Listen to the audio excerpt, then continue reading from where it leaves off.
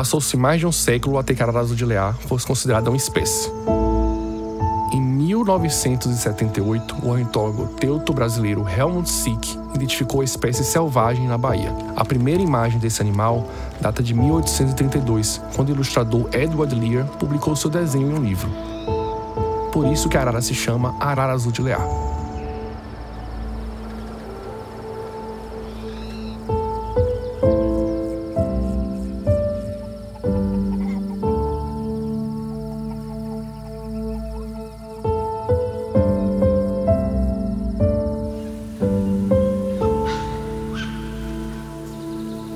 A arara azul de Lear é um papagaio raro de penas azuis, presente somente no Brasil, e que esteve por muito tempo em risco iminente de extinção.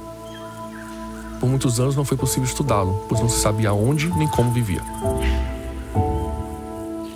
Aqui é o Tiago falando do Parque Nacional do Boqueirão da Onça, onde o programa de conservação da arara azul de Lear, promovido pela Enel Green Power, já é algo concreto. Estamos aguardando apenas a chegada dos indivíduos, com tudo pronto para tentarmos salvar essa população que quase se extinguiu aqui na região.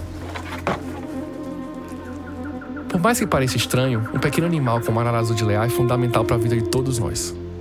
Empobrecer o ambiente e a sua riqueza biológica significa, de fato, deixar nosso planeta mais frágil, expondo a grandes catástrofes naturais. Proteger a biodiversidade para garantir um ecossistema sadio e forte é o nosso objetivo.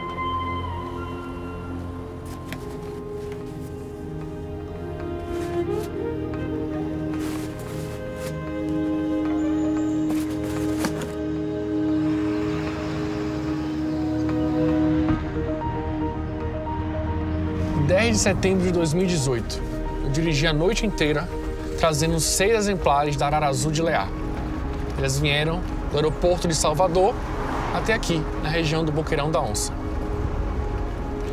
A localização e transferência desses exemplares não teria sido possível sem a ajuda da Enel Green Power. Todos eles encontram-se em perfeita saúde. Nosso trabalho agora é ajudá-los a se readaptarem para serem soltos como se alimentar por conta própria, reconhecer os predadores, para enfim voltarem para a natureza.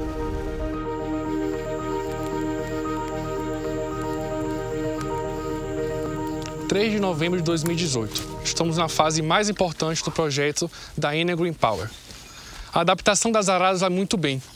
A musculatura de voo já está muito forte e em breve poderemos libertá-las.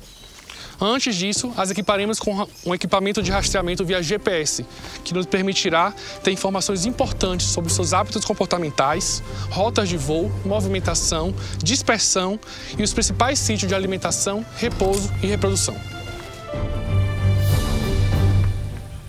Aqui estamos. Tudo está pronto para libertar as araras. É o momento mais delicado do projeto. Existe o risco delas não se adaptarem a um ambiente novo tão diferente de onde elas vieram.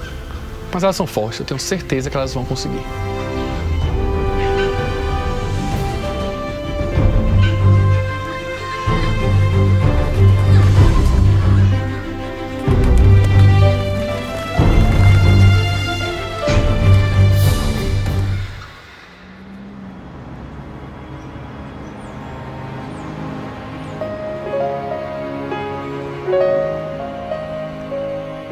A primeira fase do projeto acabou de se concluir e foi um sucesso. As araras que tínhamos disponíveis foram soltas e estão se adaptando muito bem na natureza.